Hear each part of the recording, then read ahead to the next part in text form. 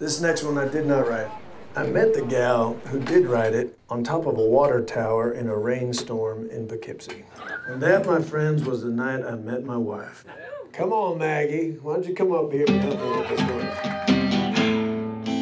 one? Jake, take it easy, huh? Let's get you out of here. Oh! Dad! Somebody do something!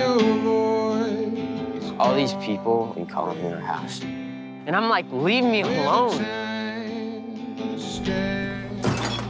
Marcus, I know you and your dad were playing guitar. Play the guitar!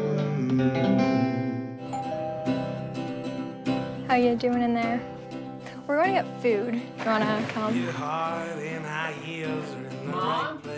The mortgage is not paid, so I want you to sit in this chair and help me. I can't. I don't know, maybe just try to be nice to her.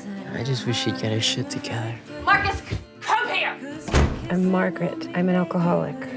Apparently, my son has moved into the woods. I'm pretty screwed up. Listen, we all have our stories, or we wouldn't be here. I have to be his mother, and I don't know how to do that. This is the long game, girl. What's the short game? Why do you care? You never did before.